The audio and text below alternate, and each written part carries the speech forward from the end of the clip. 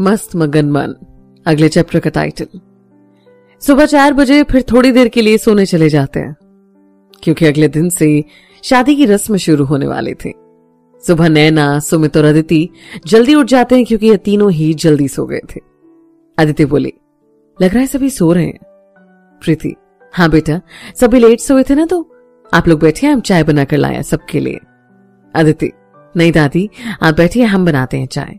प्रीति नहीं बेटा। अदिति, आप हमें पढ़ाया कर रहे हैं। आप बैठिए, हम बस यूँ गए और यूँ चाय बनाकर लाते हैं। प्रीति फिर बैठी, अदिति का इंतज़ार करने लगते अदिति चाय बनाने के लिए चली जाती है। थोड़ी देर बाद वो चाय लेकर आती है, तब तक राम भी आ जाते हैं तो अदिति उनके लिए भी चाय लेकर आती है। सभी साथ बैठकर चाय पीते हैं।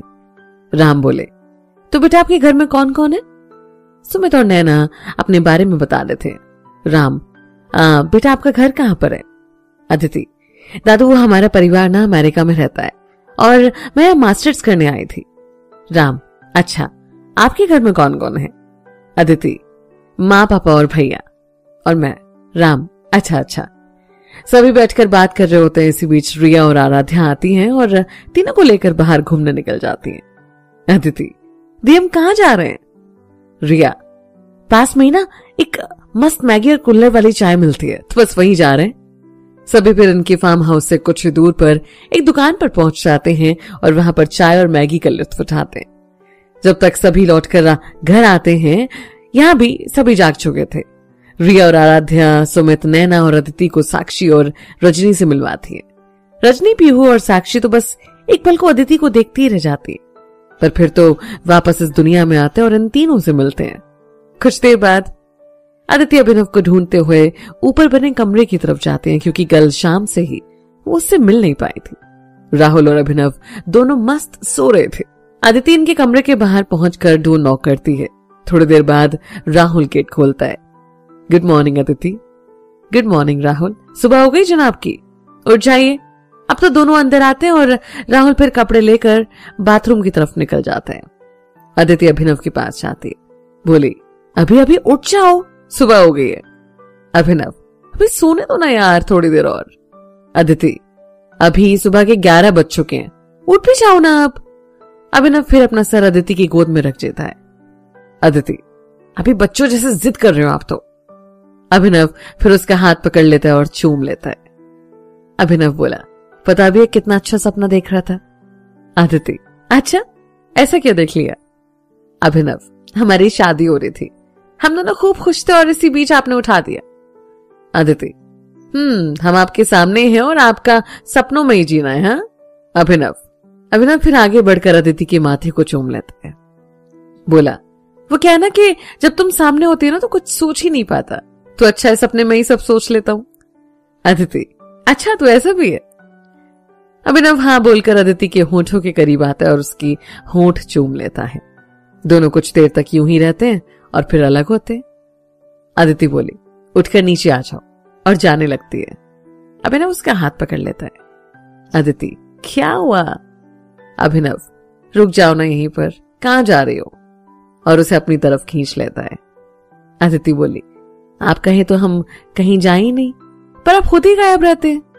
अभिनव अच्छा तो ऐसी बात है। बोले तो हम आपकी नज़रों से दूर जाते ही नहीं। इसी बीच राहुल बाहर आता है और गीला टाल अभिनव के मुँह पर फेंकता है। अबे साले मजनू, जो जल्दी नहा ले। वरना आज हम दोनों की खैर नहीं, और हाँ जल्दी। अदिति इस बात पर हंसने लगती है। अभिनव, साला दोस्त है या दुश्मन? जाने किस जन्म का बदला ले रहा है? इतना अच्छा खासा मूड बर्बाद कर दिया। राहुल बोला, बेटा, नौटंकी मत कर और जा, जल्दी से तैयार हो जा। अदिति चल हम नीचे चलते हैं। दोनों फिर हँसते हुए नीचे आते हैं। अभिनव भी तैयार होने चला जाता है। पूरा दिन सभी का एक दूसरे के संग हँसते गाते बीत जाता है और सभी शाम की तैयारियों में लग जाते हैं। मेहंदी की रस्म और इधर इनके फार्म हाउस पर पार्टी थी। शाम के वक्त राहुल, अभिनव, पीहू और पिया मेहंदी लेकर सुनाली दक्ष की होने वाली वाइफ उसके घर, जो कि वहाँ से करीब दो किलोमीटर दूर था। वहाँ जाते हैं। चारों का वहाँ पर खूब अच्छे से स्वागत होता है। पीहू और पिया तो पहले मेहंदी लेकर सुनाली के पास चले जाते हैं तो वहीं राहुल और अभिनव वहाँ लड़के वालों के साथ बैठ जाते हैं। इसी बीच दो लड़कियाँ आती हैं और दोनों को सोनाली के पास ले जाती हैं। दोनों जैसे ही सोनाली के पैर छूने वाले होते हैं, वो उन्हें रोक देती हैं और सभी साथ बैठ जाते हैं। सभी बातों में लग जाते हैं और कुछ लोग सभी के लिए चाय पानी लेकर आते हैं। उसके बाद मेहंदी की रस्म शुरू हो जाती है और सभी हॉल में बैठ जाते हैं। उसी वक्त एक लड़की राहुल के पास जाकर बैठती है। राहुल की नज़र जब उस लड़की पर जाती है तो उसकी नज़र उसी पर ठहर जाती है। एक पल के लिए तो उसे लगा कि जैसे वो कहीं सपनों की दुनिया में खो गया। अभिनव क्या हुआ? कहाँ खो गया भाई? राहुल उसकी तरफ़ देखकर। हम्म, कहीं नहीं। और जैसे ही राहुल वापस मुड़ता है वो लड़की वहाँ से जा चुकी होती है। पर उससे पहले वो राहुल के दिमाग में खलबली मचा देती है। पर वो अपना ध्यान वहाँ से ना हटाकर सामने देखने लगता है। थोड़ी देर बाद जब सोनाली के हाथ में मेहंदी लग जाती है तो उसके बाद सभी पे डांस करने फ्लोर पर आ जाते हैं। उधर फार्म हाउस पर भी सभी खुश होकर नाच गा रहे थे। अदिति भी सबके संग खुश थी। ऐसा लग ही नहीं रहा था कि वो इन सब के बीच अनजान है। पर उसे अभिनव का इंतज़ार था। रिया हम्म किसका इंतज़ार है मैडम? अदिति नहीं दी, किसी का भी तो नहीं। रिया हम्म वैसे एक बात कहूँ, बड़ी सुंदर लग रही है। किसी की नज़र न लगे तुझे।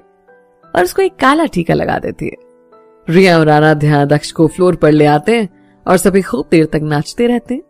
इधर राहुल को एक बार फिर वो लड़की नज़र आती है और अगले ही पल उसकी आँखों के सामने से ओछल हो जाती है। राहुल मन में, ये मेरा वहम है बस, उससे ज़्यादा कुछ नहीं। और खुद के सर पर ही चपत मार कर डांस करने लगता है। थोड़ी देर बाद चारों वहाँ से सबसे विदा लेकर निकल पड़ते हैं वापस फार्म हाउस की तरफ़। गाड़ी के अंदर। पिया बोली, भाई, आप दोनों बिना आप जल्दी से शादी कर लीजिए। पीहू, अरे, छोड़िए, दोनों हमें क्यों पूछेंगे? अभी तक बताया भी नहीं दोनों ने। पिया, क्या नहीं बताया दी? अभिनव, अरे, दी, आप कैसी बात कर रहे हैं? कुछ होना भी तो चाहिए ना? बताने लायक? राहुल हाँ दी, और आपसे क्या छुपाएँगे? पीहू राहुल के कान पकड़ते हुए बोली, रहने दो बेटा क्या क्या करना में है? दोनों के सब जानते हैं हम। हाँ ज़्यादा पूछते नहीं, सही वक्त आने पर बता ही देगा। राहुल, जी दी। पीहू, अभी बस एक बात बता, जो हम सोच रहे हैं क्या वो सच है? अभिनव, आप लोग आज तक गलत हो जो अब हो गए पीहू, तुम मिलवा क्यों नहीं देता सबको? अभिनव, नहीं दी। अभी से इतना ख्याल रखा जा रहा है इनका, लेकिन अभिनव बोला, क्या आप लोग भी ना, जब देखो खिंचाई करने पर उतर जाते हो, लीजिए हम पहुँच गए। अभिनव गाड़ी पार्किंग में लगाने चला जाता है और बाकी सब अंदर जहाँ पर सभी सीधे डांस फ्लोर पर पहुँच जाते हैं। अदिति की नज़रें अब अभिनव को ढूंढ रही थी और उसकी आँखें गेट की तरफ़ थी। राहुल उसके कान के पास आकर बोला, थोड़ा सब्र करो, क्योंकि जितनी बेकरारी इधर है ना, उतनी ही बेचैन वो भी है। अदिति बस मुस्कुरा देती है। राहुल फिर वहाँ से चला जाता है।